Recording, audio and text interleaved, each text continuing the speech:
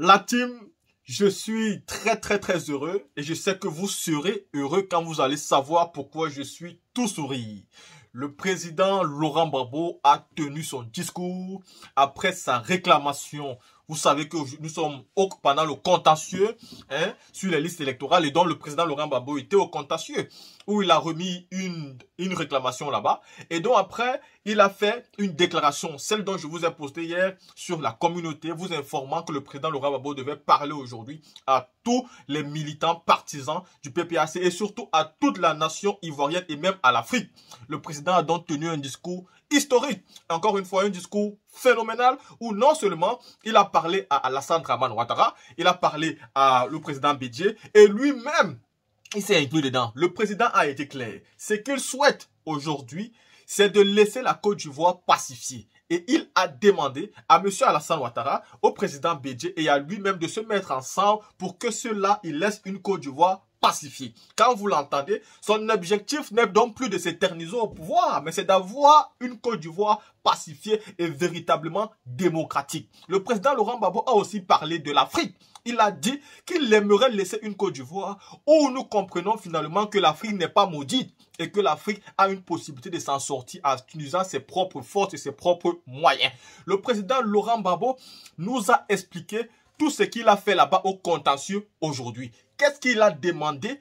Qu'est-ce que et, quelles sont ses revendications? Il nous a parlé de tout ça dans la vidéo. La team, je ne vais pas beaucoup m'attarder. Je vais vous laisser d'abord ici, avant de donner mon avis, même, même dans cette vidéo, je vous laisse d'abord ici écouter ce discours du président, son excellence, monsieur Laurent Babo. Écoutez.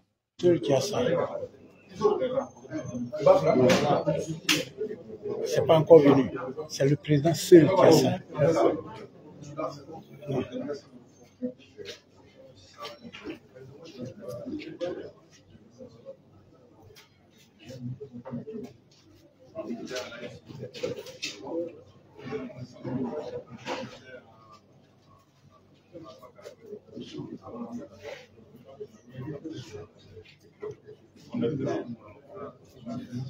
On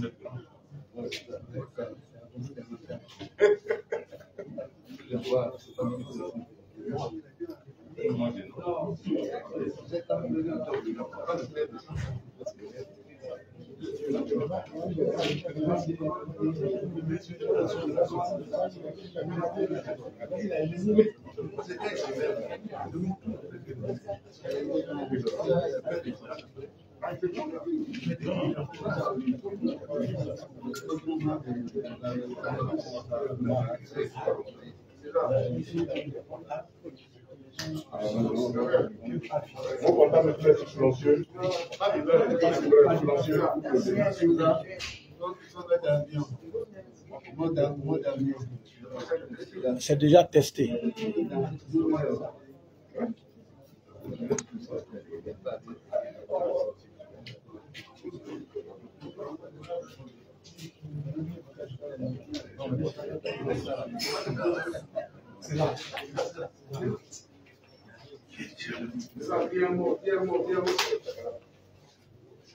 Ah, le micro, il n'a pas. Le micro n'est pas ici.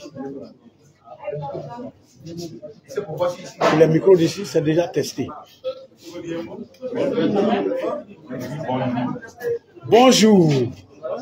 Mesdames et messieurs, bonjour.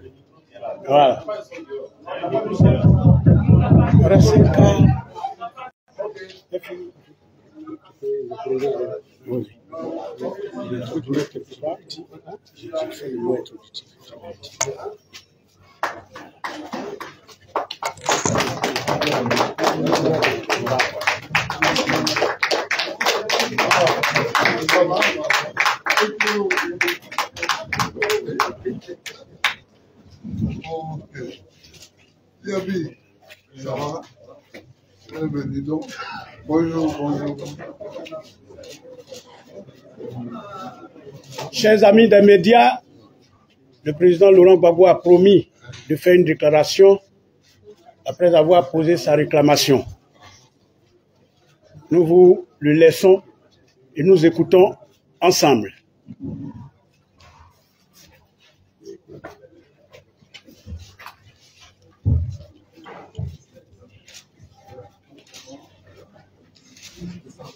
Bonjour chers amis, Bonjour chers camarades. Je suis venu ici ce matin pour euh, une réclamation. Nous sommes dans les contentieux, il n'y avait pas meilleur moment ni meilleur endroit pour euh, m'exprimer.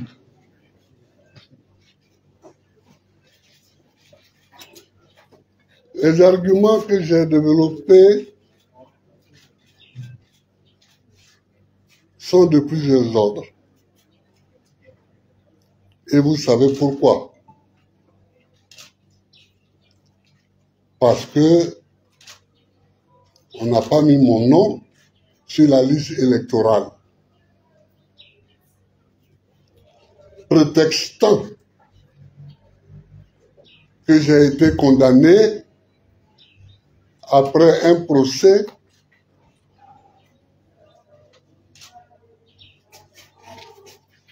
qui a jugé, qui m'a jugé, parce que j'aurais braqué la BCAO. Je refute avec vigueur une telle accusation. Dans ma vie, j'ai toujours travaillé pour que je n'ai aucune ombre dans mon casier judiciaire. Je dis toujours à mes enfants que je n'ai aucune fortune à leur laisser.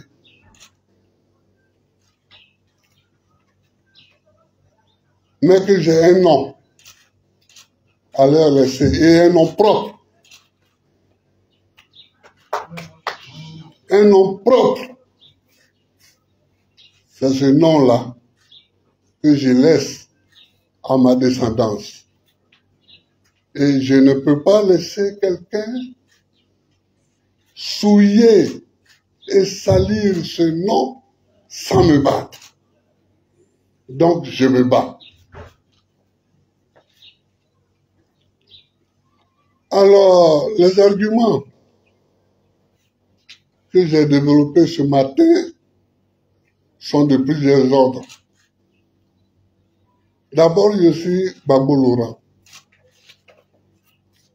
président de la République de Côte d'Ivoire d'octobre 2000 à avril 2011. On ne juge pas un ancien président de la République n'importe comment et devant n'importe quelle juridiction. Il y a une procédure pour mettre en cause et pour juger un ancien président de la République et les présidents d'institutions. C'est une loi de 2005.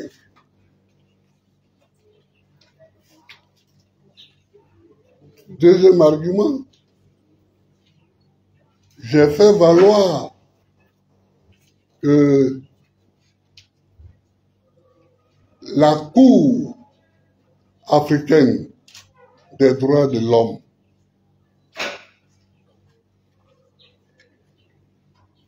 a demandé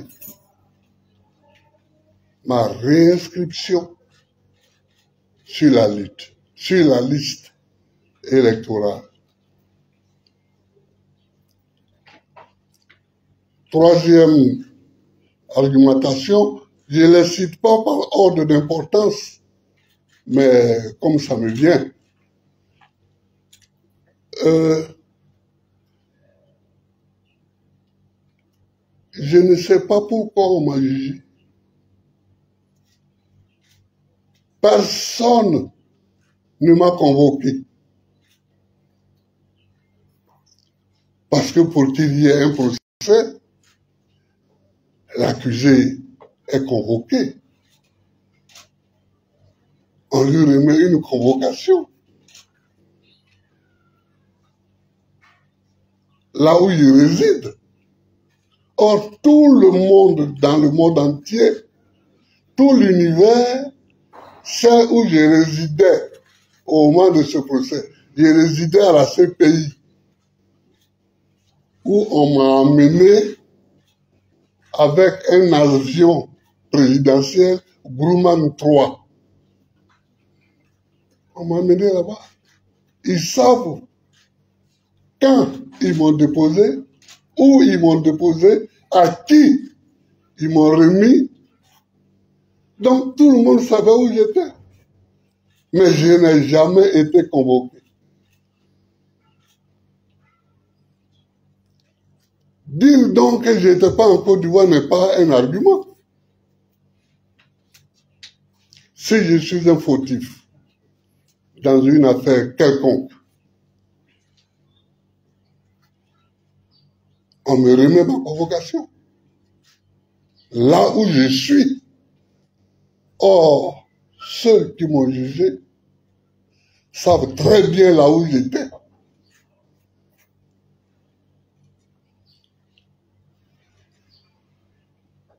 Autre argument que j'ai développé, c'est que une fois le jugement prononcé, on m'a pas remis le jugement. Donc, je ne sais toujours pas, je n'ai eu aucun document de ce procès. Jusqu'à présent, à l'heure où je vous parle, je n'ai eu aucun document ni avant le procès, ni après le procès. Est-ce que c'est ça qu'on appelle un procès? Un procès, il faut que l'accusé soit là. Il faut qu'il se défende. On m'a amené à la CPI,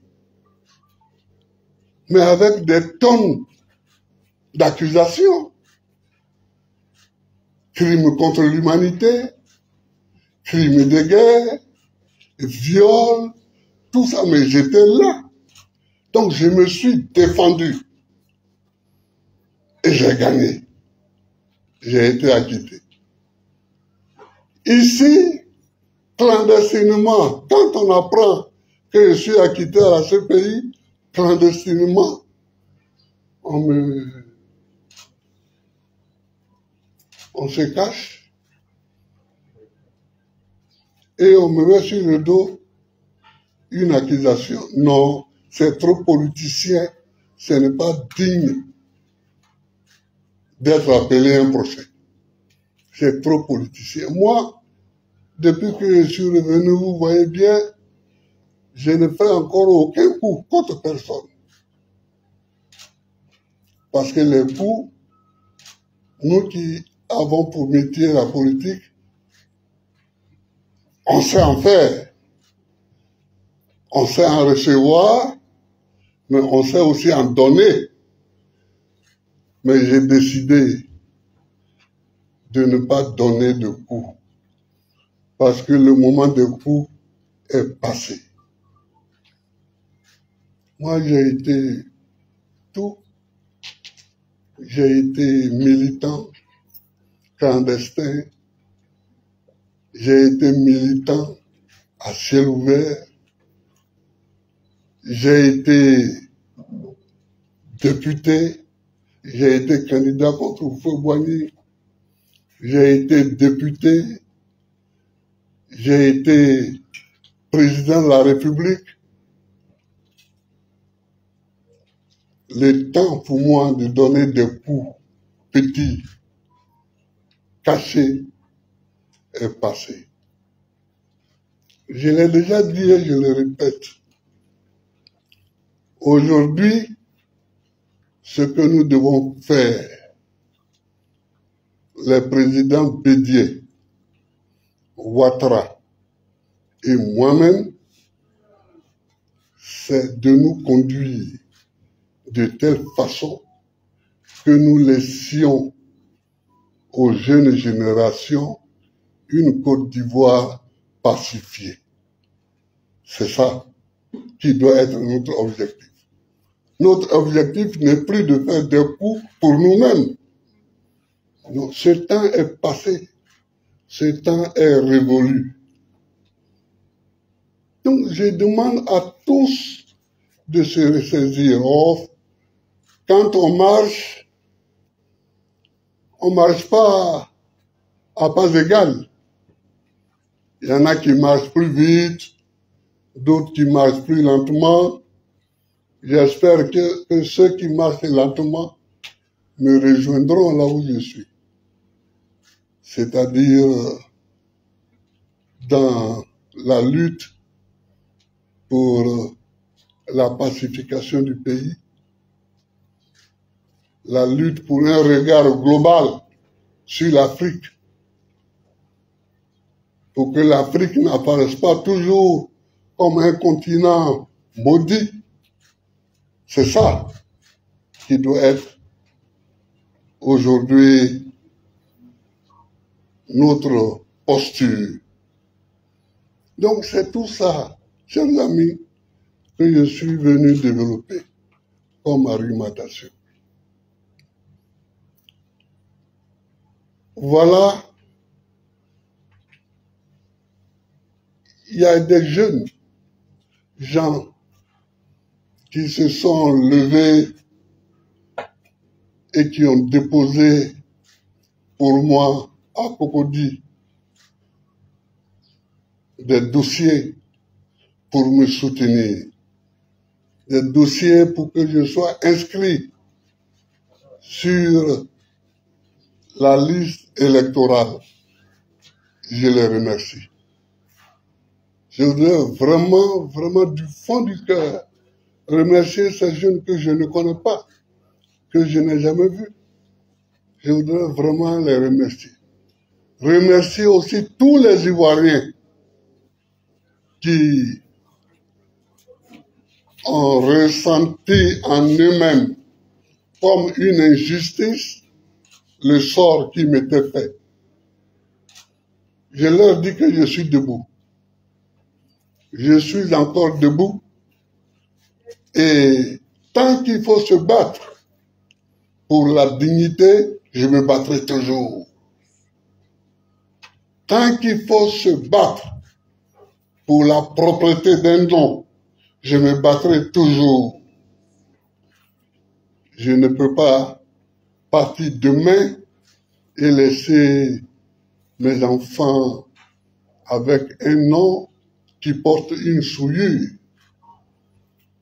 Donc, je remercie tous ces jeunes-là. On m'a dit le nombre, mais peu importe, j'ai oublié le nombre. Mais je suis vraiment très fier, très fier d'eux. Je suis très fier d'eux. Voilà. Le combat n'est pas terminé, puisque c'est pas moi qui prends les décisions. Moi, je pose mon problème, qui est le problème de l'honneur, qui est le problème de la propreté d'un nom, qui est le problème de la propreté d'une famille. Non, non et non, je ne laisserai pas mon nom sale sans me battre. Chers camarades, chers amis, voilà pourquoi je suis là ce matin. Je suis à vous pour euh, euh.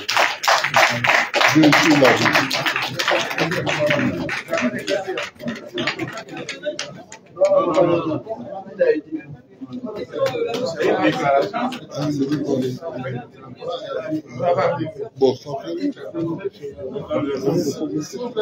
Ouais, lui, il veut poser une question.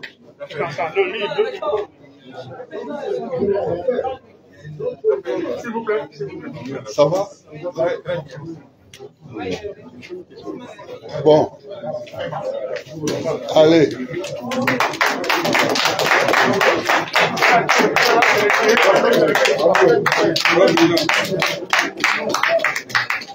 le nom. Hein.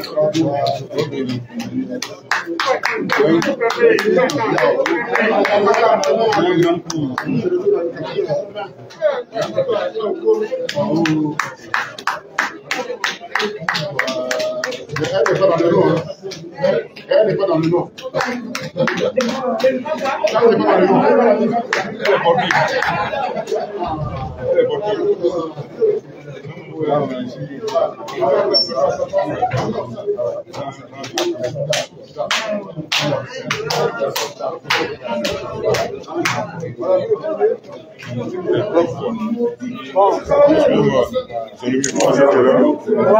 non, non, je ne suis pas pour nous là. Ça, c'est pas.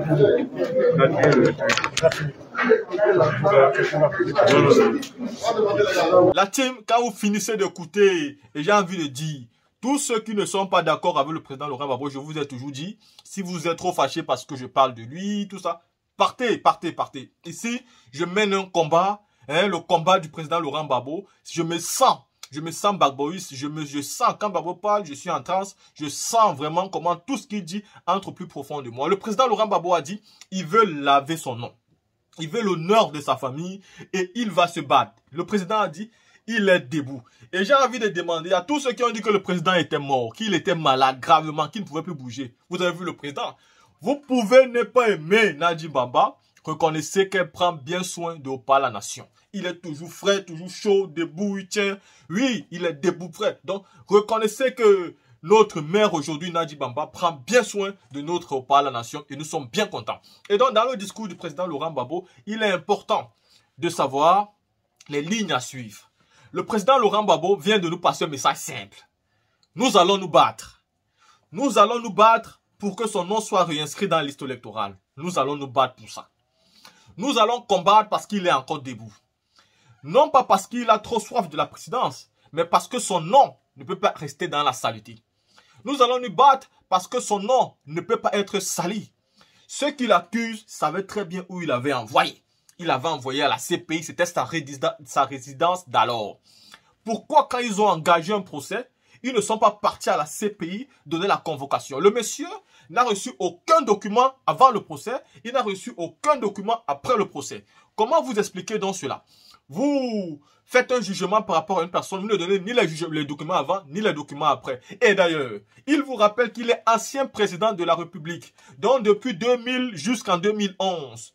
Et un ancien président de la République, on ne peut pas juger celui, ce dernier n'importe où et dans n'importe quelle juridiction. Et vous le savez. C'est d'ailleurs, à, c'est d'ailleurs à cause de cet argument que vous l'avez envoyé à la CPI.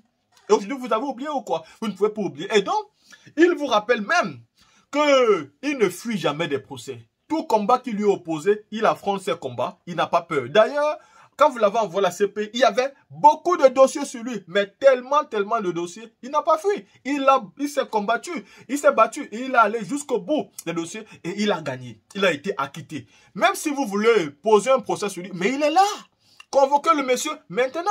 Faites un jugement maintenant. Il y a gens qui disent qu'il fait des réclamations, des appels. Appel pourquoi Il a reçu quoi? Il n'a pas reçu de convocation, il n'a pas reçu de fin de jugement. Vous voulez qu'il fasse des appels par rapport à quoi? Il ne reconnaît pas de procès. Et donc, les lignes du combat sont tracées et les sillons de la lutte sont là. Le président Laurent Gbagbo a dit qu'il va se battre. Et si notre président dit qu'il va se battre, alors nous allons nous battre tous ensemble, chacun à sa façon. Mais nous savons que nous allons descendre sur le terrain au moment venu pour nous battre. Que ceux qui pensent que vous allez salir le nom du président Laurent Gbagbo ou l'empêcher d'être candidat en 2025, vous vous foutez le doigt dans l'œil. On parle du président, on parle à la nation. Et il vous a rappelé qu'il s'est battu au temps du président Félix Houphouët-Boigny. Il a été député dans ce pays. Il a tout été, il a été même président de la République. Son intention n'est pas la soif du pouvoir, mais c'est de laisser une Côte d'Ivoire pacifiée aux futures générations. Une Côte d'Ivoire où, qui fait bon vivre. Une Côte d'Ivoire où des personnes comme Alassane Ouattara, comme Henri Conan Bédié et comme Barbo Laurent lui-même n'ont plus la soif du pouvoir, en point de tout détruire en faisant des coups bas. Le président a dit il n'a plus envie de faire des coups bas parce que l'époque des coups bas est terminé. Aujourd'hui, il a l'âge pour aller devant. Parce qu'il a tout eu. Pourquoi il va encore faire des coups bas? Le temps des coups bas est révolu. Mais le combat pour la dignité, le combat pour l'honneur, le combat pour la propreté, ça, le président va le faire. Et parce que le président va le faire, nous allons le faire avec lui. D'ailleurs, nous le faisons déjà ici sur notre chaîne. Mais dès que tout sera lancé pour les manifestations, mobilisations, peu importe où je me trouverai dans ce monde-là, je sortirai aussi pour manifester, pour apporter ma part de grain dans le combat, parce que nous souhaitons vivement que le président Laurent Gbagbo revienne au pouvoir. Vous ne pouvez pas comprendre pour ceux qui disent qu'on aime le président Laurent Gbagbo, comme ça, comme ça. Vous ne pouvez pas comprendre. Il y a ceux qui se battent pour la dignité.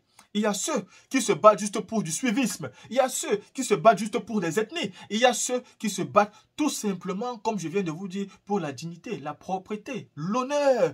Juste parce qu'ils sont fiers d'être africains et ils veulent qu'ils soient reconnus en tant qu'être humain, tout simplement. Et c'est notre cas. C'est le combat de notre leader. Vous l'avez entendu parler. Nous convenons tous ensemble ici que le président vient de passer un message. Et les gars, retroussez vos manches parce que la lutte continue et le président est debout. Si lui, a cette tâche, il est debout, alors nous serons debout pour aller de l'avant avec le président. Restez connectés la team. Dites-moi ce que vous pensez en commentaire. Et on va faire d'autres vidéos sur la sortie fracassante du président Laurent Babou.